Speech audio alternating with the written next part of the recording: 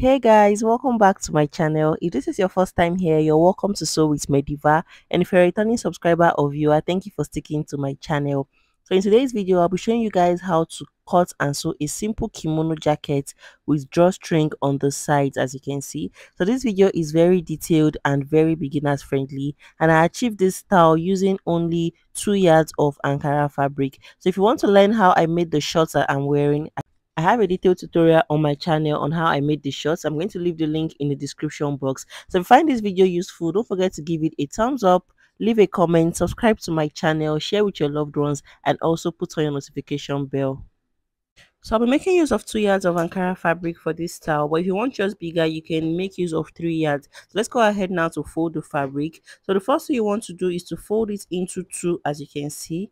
I folded mine into 2 and the next thing to do is to fold it into four. So i'm going to just open up my fabric this way and fold it into four. This is because we're cutting both the front and the back panels together. So right now i have my fabric in a fold of four as you can see. So go ahead to fold yours this way. So if you want yours bigger like i said you can make use of three yards of fabric. But this is all the fabric i have for mine and the length of my jacket is 40 inches plus um the folding allowance at the base i'm going to take in one inch for the folding allowance so make sure your folded fabric is equal on all sides so let me just go ahead to check out mine so that the sleeves will be equal so after I have carefully folded my fabric, this is what we have. So you can go ahead to iron it out so that your fabric will be more stable, your fold will be more stable. Let me go ahead to measure what I have after folding. So what I have here now is um 16 inches. So each which is still very okay for my body size because my round hip measurement divided by 4 is 11.5 inches. I'll take one inch for seam allowance making 12.5 inches. So the remaining 3.5 inches is going to go for ease. But if you're working with a bigger fabric you'll have more allowance for ease. Your kimono will be very big so the first thing we want to do is to mark the neckline. So the wideness of the neckline, come over to the closed angle of the fabric and take the neckline, which is 3 inches. So we're going to be making use of only one neckline for both the front and the back panel. And the depth of the neckline is 1.5 inches. So go ahead to connect the two points together.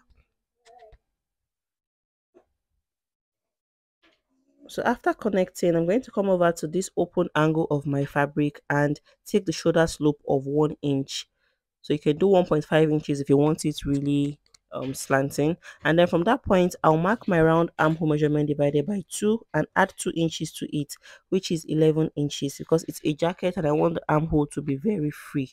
So I'll go ahead to connect the neck width down to meet the 1 inch shoulder slope I took. This is what we have. I hope you guys can see what I'm doing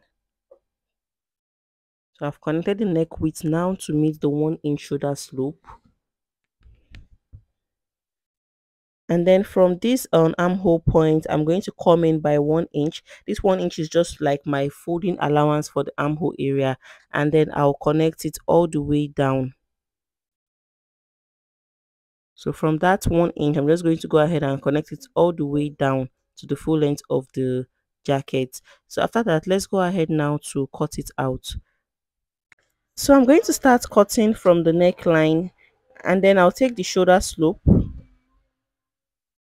So for this um one inch allowance, I'm not going to be cutting it out. Just watch what I'm going to do. I'm only going to cut it at the armhole point and then I will just cut it out this way. So this is what we have after cutting out. So remember this place is in a fold of two. So I'll go ahead to open up the sleeve so after cutting out and opening up this is what we have. So as you can see we have two identical pieces for both the front and the back panel. So let me go ahead now to separate them because we'll be cutting the front um, panel opened at the center front. So this is what we have. So i'm going to go ahead now and fold it into two. So go ahead to fold it into two this way so after folded you should have something that looks like this. So remember we took the neck width of three inches. So i'm going to go ahead and mark three inches all the way from the closed angle of the center front. So go ahead to mark that three inches now all the way down from the closed angle. So after marking use your ruler to connect all the points together so that you can get a very straight cut when you are cutting out.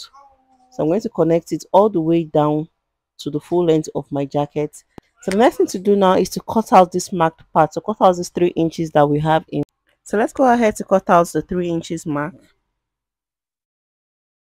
So remember that we're still going to have like a one inch um fabric strap that will go all around the center front from the neckline. So after cutting opened this is what we have. You're going to have two pieces of the front panel and one piece of the back panel so the next thing we want to do is to join the front and the back panel together so i'm going to place them on top of each other right side facing each other to do that so I'm going to place the other side on it this way, the other side of the front panel. So make sure you are placing them right sides facing each other. So I'll place it this way and I'll take the other one and also place it on it this way. You can see the neckline width is um the same. You can see that it's measuring up to it. So this is what we have. So I'm going to take it to my sewing machine now and close up the shoulder area using half an inch. I'll do the same thing for the other side and I'll show you guys. So after I close up the shoulders, is it the half an inch? I'll come over to the sides and also close it up using one inch, the one inch seam allowance we added while we were cutting. So guys, before you close up the sides, make sure you finish up the base of your um jacket first before you close up the sides. So fold in the base of the front panel and the back panels before you close up the sides. So after joining the shoulder areas together, this is what it looks like. I also joined the side. So before I turned it over to the right side, I went ahead to notch this um curve at the armhole point. So if you notch this point i made small notches like i cut it open. Let me show you guys the other side. I cut this underarm area opened. So by doing this it's going to make your um jacket appear very neat on this side when you turn over to the right side. But if you don't do this it's going to appear rough on that um, armhole area. So you can see how neat um this point came out. So the next thing we want to do now is to cut out the um strap will be um, attaching to the neckline and center front. So go ahead to uh, measure what you have all around this um center front from the neckline all the way down. So for me i have about 85 inches and ahead to cut out the strap already. It's in a fold of two and the height i'm working with is one inch but i added one half an inch to it for the joining allowance. So i have my fabric here in a fold of two. Is in a fold of two. So i'm going to go ahead to join the two pieces together. I cut it out in two because of the length of my fabric. So i am going to join them together. And when i'm done doing that i'm going to take the um, center back of my neckline and fold it into two this way to get the midpoint. So i'm going to just notch that midpoint. I'll notch the midpoint this way and then i'll open it up. So make sure the right sides are facing each other. And then this is the open angle of my fold of my fabric fold. I'm going to place it on it this way. Right sides facing each other. So I'll place it on that point I notched and use my pin to hold it down. Then I'll go ahead to start joining this um fabric strap now all the way down to the full length of my jacket. So you're attaching this on the neckline all through to the center front.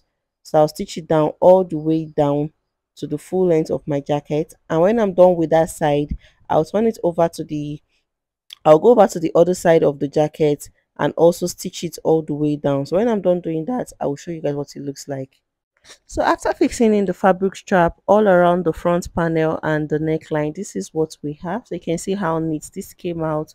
So the next thing we want to do is to finish up the armhole area and the lower part. So this is the reason why i asked you guys to finish up the lower part of the front panel and the back panel individually before you join the side. So i'm going to have to loosen mine up to the one inch point I want to fold in.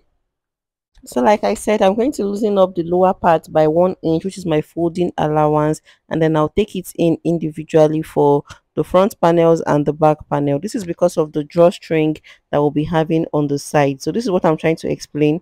So this was the reason why I told you guys to finish up the base before you closed up the side so that you won't have to go through all this. So I'll fold in the back also and then I will just go ahead to close up the sides again on the lower part. So this um one inch seam allowance is going to be for our drawstring casing when we are done finishing the base. So after that, I'll come over to the sleeve and also fold in half an inch twice and stitch it all the way around this. I'll do the same thing for the other sleeve and I will show you guys.